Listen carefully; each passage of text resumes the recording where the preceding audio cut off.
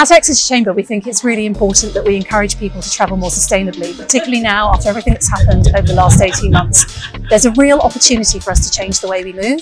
And we're coming up to COP26. Uh, we've got World Car Free Day on the 22nd of September.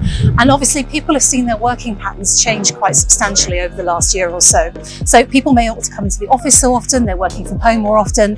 And the great thing about working with a bus company at Stagecoach is we can start to promote to them about the more flexible ways they can travel.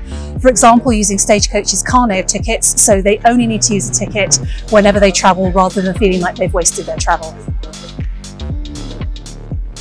I was actually there that day with my other hat on, which is work, working for Co-Cars and Co-Bikes. Um, it was an amazing day. I don't think any of us could have asked for a better occasion to launch the bus station, apart from the fact it was unbelievably hot, as anyone who was there will testify.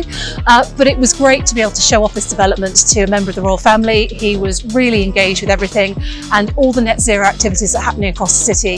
The bus station, with the services that we deliver for Co-Cars and Co-Bikes, with uh, Exeter City Futures, Exeter City City Council. It was just brilliant to have all the partners in the same space and really be able to showcase the amazing things we're doing as Exeter.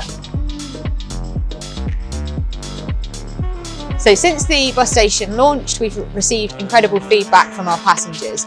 Passengers no longer need to wait in the elements. We're completely enclosed with automatic doors, allowing you to stay warm and dry when you're waiting for the bus.